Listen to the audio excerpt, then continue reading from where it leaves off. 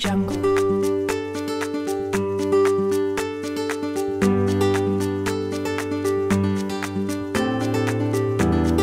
ini Dinas Kesehatan melaksanakan kegiatan swab real time PCR.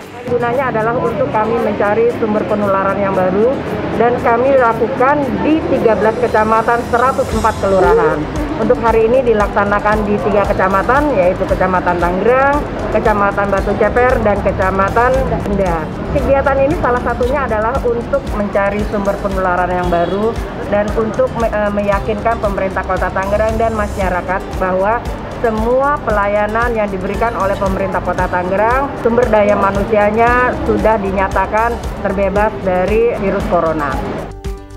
Pada hari ini di Kecamatan Tangerang dilaksanakan uji swab bagi sasarannya 80 personil dari Kecamatan Tangerang baik yang ada di lingkup kecamatan maupun kelurahan.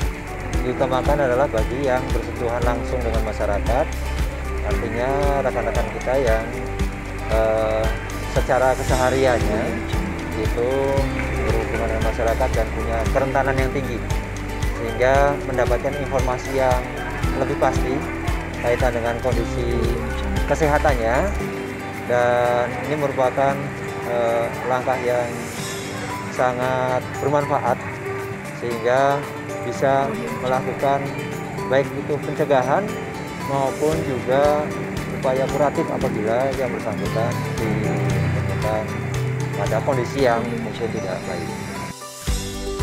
dengan adanya swab ini kita memastikan sih apa sih kondisi kita baik atau tidak ya. Karena selama ini kan masyarakat atau kita pegawai ragu-ragu kita kena atau tidak ya. Tapi dengan adanya swab dari pemerintah kota khususnya dinas kesehatan pada intinya mereka akhirnya sadar bahwa yang tadinya selama ini mereka takutkan swab itu sakit yang di pojok apalah gitu ya. Yang mereka lakukan ternyata enggak. Ya nah, tinggal menunggu hasilnya aja baik atau tidak ya. Kita serahkan aja nanti ya hasilnya bagaimana yang lebih tahu Pada hari ini kami dari Batu Ceper dan Polres Jaga mengadakan tes swab ya. Tujuannya adalah tracing. Memang ini adalah merupakan kebijakan dari pemerintah Kota Tangerang bahwa kita di dalam rangka tracing kita akan eh, melakukan tes swab. Dan pada hari ini kami melakukan di lingkungan kecamatan dan kelurahan. Adapun yang akan kita lakukan hari ini, targetnya adalah 80 orang.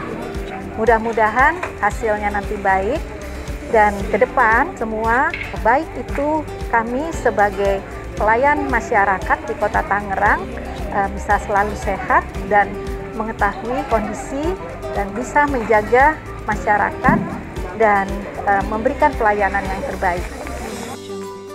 Mudah-mudahan hasil swab test ini eh, pegawai bisa eh, menunjukkan hasil karena pegawai harus siap dan harus sehat. Eh, untuk itu kami himbau kepada seluruh eh, pegawai untuk bisa eh, selalu melakukan eh, mengecek kesehatan, jaga jarak, menggunakan masker, dan selalu melaksanakan disinfektan pada saat setelah melakukan kegiatan.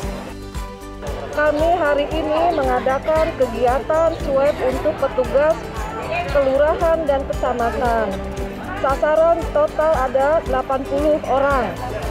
Dan ini untuk memastikan bahwa kami petugas harus siap dan sehat eh, dalam era eh, normal supaya kita bisa memutus mata rantai penyebaran secepatnya.